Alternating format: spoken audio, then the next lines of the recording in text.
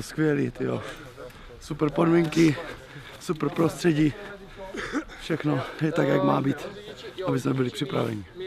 Těším se hodně, samozřejmě. Další krok k tomu, abych byl nejlepší. S boxem jsem začal od 4 let, eh, kdy jsem naštěvoval s tátou tréninky na Dukle.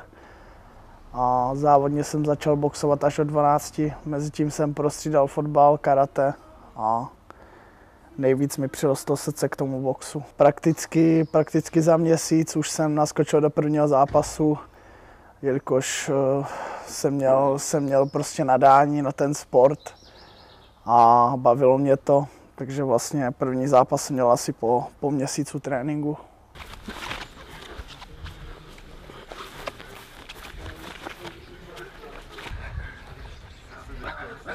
V těch amatérech jsem odboxoval cca 260, okolo 260 zápasů.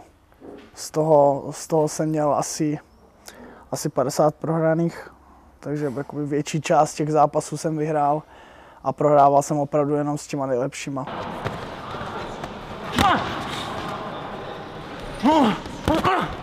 Být v profi jsem měl uh, minulý rok, takže vlastně už asi rok, uh, rok a něco, rok a půl možná boxu v profiringu. Uh, debit jsem měl s Hamem Aperianem, s velice dobrým soupeřem, boxerem zkušeným. Tam jsem zvítězil a vlastně doteďka držím tu neporazitelnost.